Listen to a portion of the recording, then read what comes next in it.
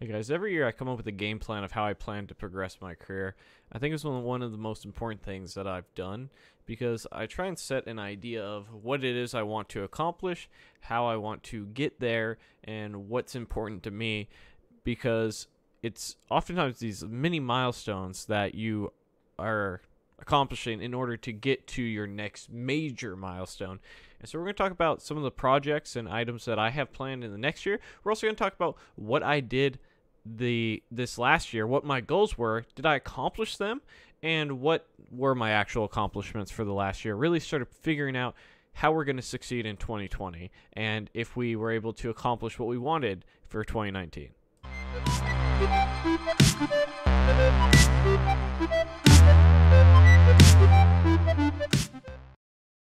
I want to take a moment to thank our long-term sponsor, Dev Mountain Coding Bootcamp. I had the pleasure actually seeing some of their housing and the campuses, and and it was just beautiful and a good time. I was really excited to go to Pro- Provo, and they uh, were very nice and cordial. And so I've actually met some of the people who work there, and they, they're really good people, and they're trying really hard to bring the best program that they have.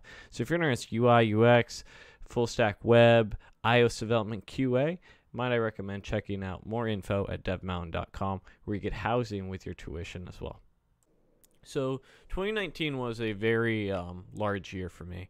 It was a year that I a lot of stuff happened, but uh, and we'll we'll dive into that in just a second. But let's talk about what last year's goals were. I had six when I rewatched the video. The first one was the QA boot camp. That didn't work out because Dev Mountain um, stopped their online program. So uh, we'll call that a wash. um, the Agile Scrum certification, I didn't get around to it. I should, and uh, and we'll talk about how that's a goal and and well, sort of a goal for 2020, especially because my work will pay me to go and get that certification, so I'll get a bonus and they'll pay for it. So it's sort of like a, it's a good, it's a you know it's okay that we didn't meet it. Uh, but uh, two was attend two conferences. I did. I, ex- I attended DevFest Florida twice, uh, once in January and once in November, and I'll uh, probably go again. So it's a, that was a really cool thing. Um, speak at a meetup. I uh, I sort of circumvented that and I went straight to the conference. Uh, so we'll say that was succeeded. One of the things I, I there's two major goals on here that I didn't accomplish that I wanted to uh, that or rather that I wanted to do, but I was fairly certain I may not have enough time because I, I, I do usually plan more goals than I have time for, and I because I'm okay failing at some and not others. Like the goal is to make sure that we're moving forward, and a lot of these things are multi-month things or you know life happens, and we'll talk a little bit about how my life sort of changed in 2019 and the the the sort of road bumps that came along, but uh, the book um, I didn't think I would accomplish it, and I, I didn't put the effort into it. Uh, launching a web app. Another one I didn't think I accomplished, but I think I, I'm going to say that I sort of did, although it's not in the final state that I want it to be, but we worked very hard to complete that. So that was what I was trying to accomplish for 2019, as well as continuing the things I had already been doing the, um, the courses, the, um, the, uh, YouTube channel, which are you know time constraints as well. So what did we accomplish at the end of the day in 2019? Quite a bit, and we're gonna talk a little bit about things that because they sort of intertwine uh, life, and we're gonna talk a little bit about um, professional goals. So in 2019 I got my title changed to senior developer finally. You know, I'd essentially been doing the job of senior developer for quite some time, but I got my title changed to that, and I went back to uh, full stack, which is nice. Although I've really been working in the front end, but that was a goal of mine. I wanted to go and do full stack to pick up more skills, to be a little bit more marketable, and to really work at different technologies at the end of the day. Another uh, accomplishment was I wanted to increase my pay, my PTO, and generally my benefits. And that was one thing I I wasn't going to be able to do at a couple other employers that I had, and I've made significant increases in benefits, uh, such as my 401k, investment account, PTO, full remote, bonuses, all these things that I wanted that I knew was out there, but um, I I might have to go find somebody who realized I, I was worth those things, and uh, that was something that I, I, I made an active active effort to do um, about seven, eight months back. Um, release a course. So I released the 100 100 front end interview questions challenge, which has been pretty pretty well received and seems to be helping quite a few people. It seems like every live stream I have somebody come in and say about how this helped them prepare for their interviews, and they they did this one in the algorithms course, and they got a job, and they're very happy, and I'm, I'm happy to hear that. But that was something that I I'm very pleased uh, has happened. I spoke at a conference, DevFest Florida 2019, just two weeks ago. Uh, you know, I, I had said in 20, you know, for the 2019 goals, I wanted to speak at a meetup, and I circumvented that. I wanted to speak at a meetup to speak at a conference. So I just sort of kicked that, uh, kicked that. Just I jumped ship. I jumped over a level in my eyes, and we did that, and that was really fun, and something that we're going to be talking about as a 2020 goal of mine. Um, and I think this is a, accomplishment as well. I survived a layoff. Uh, you know, things don't always go perfectly well, right? Things happen, life happens. I took a job, and after two and a half months, they laid me off, and I moved across country to Idaho, and then I quit that job in three days because it wasn't for me, and I came back, and that was a that was a costly um, time commitment. It was an emotional thing. I did a video talking about how I wasn't prepared emotionally for what it means to be laid off and not have a job and how that sort of it was a very strange thing for me.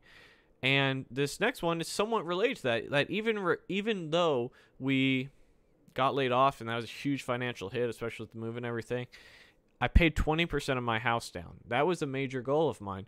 I bought my home, which is a goal also, was something that I accomplished right before the um, I think it was uh, October. So in the last year, I've been able to go from the initial 3% I wanted to pay off to, as of uh, Tuesday of next week, uh, when this video is be coming out, I'll, I'll be doing the last little big lump sum payment of about $8,000 to eliminate the private mortgage insurance and get to that 20%, which was a goal of mine. I was throwing a ton of money at it and still saving because I, you know, you always want to save. You always want to make sure that you're bad things happen. But that was something that was a very big financial goal of mine to not be paying that. Um, another accomplishment is that when I did take that job, I, I dove into Vue, Vuex, and got comfortable with progressive web apps. And so I picked those skills up and added those to my resume.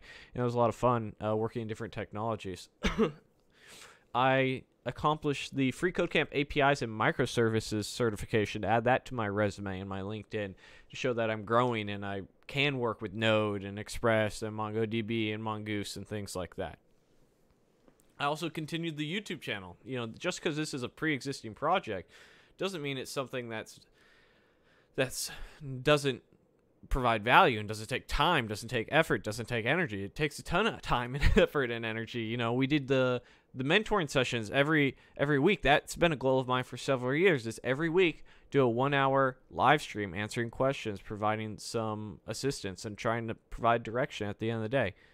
We released the self not or self taught or not podcast, which was sort of a goal in the back of my mind that I've always wanted to do was have a podcast, but it had been a very hard challenge to find somebody I can work with, right? I like to part part of the reason I'm not in college any, anymore and part of the is I like to do things my own way in the sense of what works best for me. And that usually means that's not necessarily going to work best for you, or it can be. And so I was very glad that Eric and I were able to do this podcast together, and it's really been going relatively smooth. Uh, and released a 24 episode selftaughtornot.com if you haven't checked it out. And from what I can tell, you guys are really liking it, and we're we're gonna take a little bit of time off, and uh, in 2020 we're gonna do uh we're gonna do season two, so that'll be another cool thing. Um, I also uh, did a lot of work for Video Dev Docs for that launch a web app goal.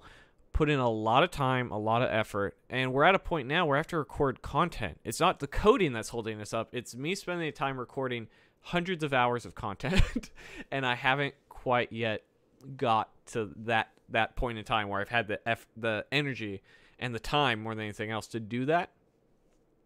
And then I leased some course content, which is the first thing I did, first time I've done it, and it's it's worked out fairly well. And I'm I'm do, going to be releasing some other uh, content for some platforms and leasing that and making a few extra bucks, and that's been nice because I've been building a nice business relationship. So those are what I consider I got two dogs also. That's pretty exciting.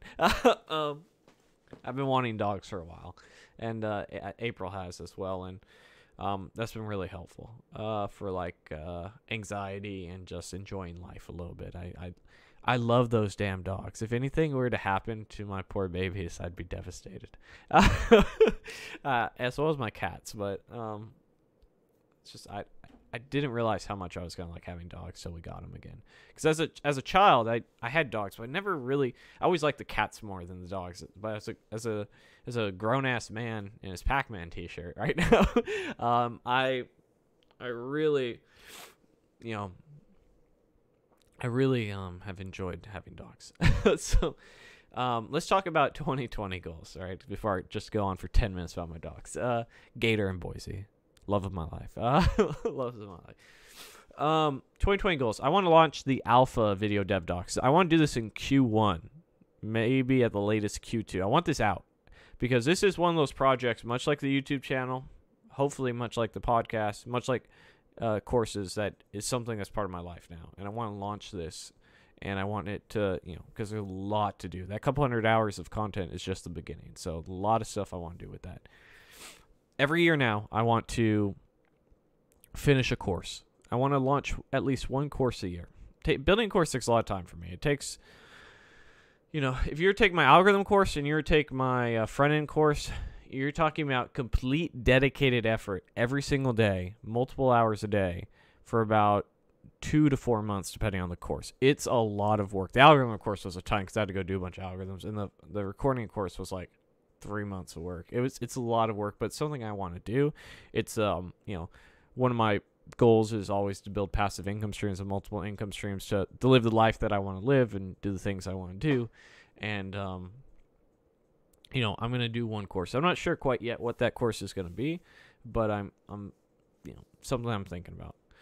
I want to speak at more conferences. So I really enjoyed speaking at the conference and I've already sort of laid the seeds for some of that. So uh, if you uh, watched our conference episode, which I think is coming out the same day as this video, um, Eric told me I should apply to NGConf. So I, I uh, talked with one of the organizers and, and speakers at it that I I'm have sort of a working relationship with, asked for some advice, and so I've submitted two of probably three potential um, uh, talks I'd like to give, and I'm hoping that uh, I'm hoping that I get accepted. And that's a it's a very big step up in competition, but much like anything else, it's okay to get denied. It's okay to uh, to fail.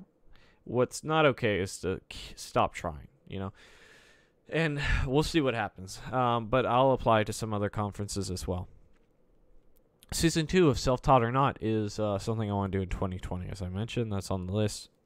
um, I always want to add one certification uh, to my resume a year. That's sort of one of the goals, and so I'm I'm think I'm not. I, it's probably gonna be the agile certification. That's what I said last year, but uh, it's gonna be one certification of some sort. And um, finally, I want to release the book. This is going to be one of the ones that is going to go to the front of the list. Like there's sort of an order of these things, right? The book and the web app, the reason they were there last is they took the most effort and I, I wanted to accomplish some other things that were going to be immediate financial gain for me in my career. And those were they're good, but they they're they're they're a little bit more risky, a lot more time intensive, and oftentimes much more um um just a harder task to accomplish. And so I want to accomplish something. That's going to be the inverse this year. So starting in January, uh, because I, my next six weeks are crazy busy uh, with things, um, I am going full steam back into writing, um, you know, um, going rogue, the self-taught developers uh, playbook. So that's my the book that I've been working on, and I have I have numerous chapters written, but I'm nowhere near completion. Um, and finally, number eight is a health goal, and I wasn't quite sure. You know, I I told April that going in 2020, I was going to worry about my health more and um, do better diet, exercise more, and really, what I'm trying to do is get rid of my gut. When I saw myself on the conference video, and like I've been sort of joking about it, and my weight has fluctuated quite.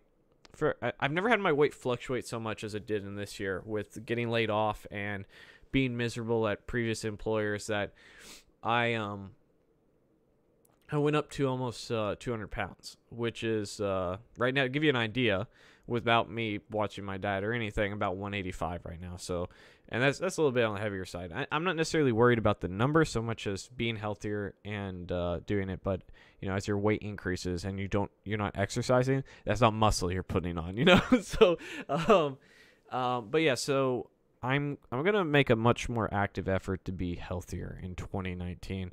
Um, you know, I, I've done little things like getting stand-up desk, and you can see I have some weights behind behind there uh, that I, I lift on in between. I take a lot more walks, and working at home has really helped with that because I'm eating at home a little bit more, a little bit healthier. But uh, it's going to be a very, very much so more active. Um, we're probably going to get a, a full on gym system again in the house, or a gym membership, or a yoga class that I'm going to two, three times a week. This is going to be something that's going to be very crucial um, and something I, I really want to accomplish. So, those are my goals. Those are the things that I did.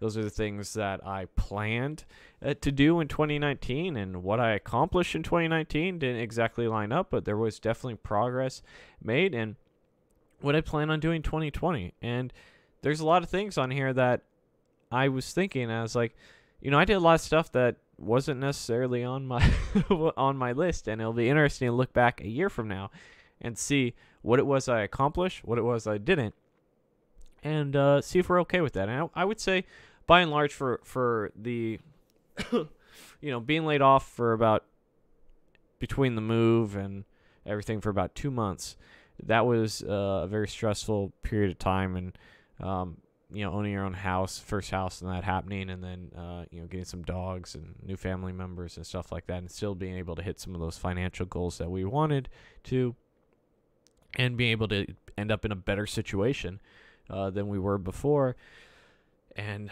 um, you know it's a lot of hard work, a lot of planning, and it it was. Um, you know, if if I didn't have those that sort of bit bump in the road where essentially a quarter of my year was taken away, uh, I wonder what else we could have accomplished, but I'm, I'm pretty happy with what we did here. And in 2020, uh, I'm hoping I'm I'm happy with what I did again. But uh, the goal here with making a video like this is hold myself accountable to get you guys to think about what it is that you're trying to accomplish and what your goals are. Because my major goals at the end of the day is to give myself an option of uh, being financially independent, of being able to progress my career, make sure that every year I'm moving closer to a better job, to a better position, to being promoted, and make sure that I have the skills that organizations value and want to keep me around or want to steal me away. so that's the sort of the higher level goal um, outside the health ones and whatnot. So with that being said, guys, I hope you guys are planning your 2020 about what it is you're trying to accomplish, whether it's getting that first dev job or going from junior to senior, or so on and so forth. But I appreciate you. If you're interested in any of my courses, there's links in the description below. They can add a huge discount. And I'll see you guys next time. Like, subscribe, share, all that good stuff. Check out our memberships, get some emojis, all that cool stuff. See you next time. Bye. Hey guys, don't forget to hit that notification bell or smash that like button while you're at it. And if you're interested, I just released my latest course, the 100 Front End Technical Question Challenge, which is there to help you pass those front end technical interviews. There's over 100 questions. You can get it for just $9.99. The link is in the description below or use coupon code CodingGod.